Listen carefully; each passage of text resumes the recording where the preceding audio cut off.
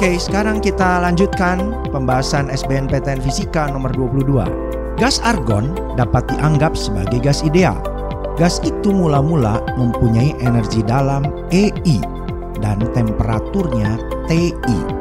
Gas tersebut mengalami proses dengan melakukan usaha W, melepaskan energi senilai Q, dan keadaan akhir energi dalamnya EF, serta temperaturnya TF.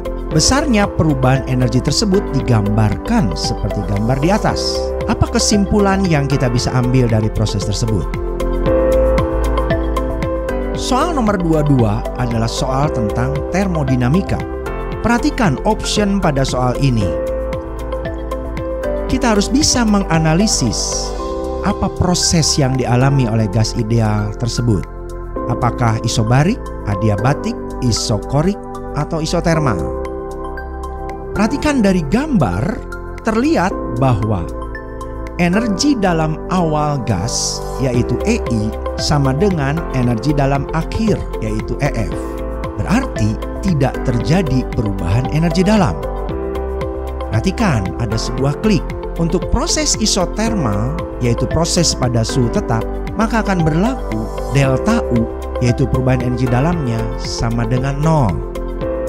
Jadi gas ini mengalami proses isotermal.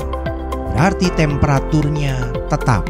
TF temperatur akhir sama dengan TI temperatur awal.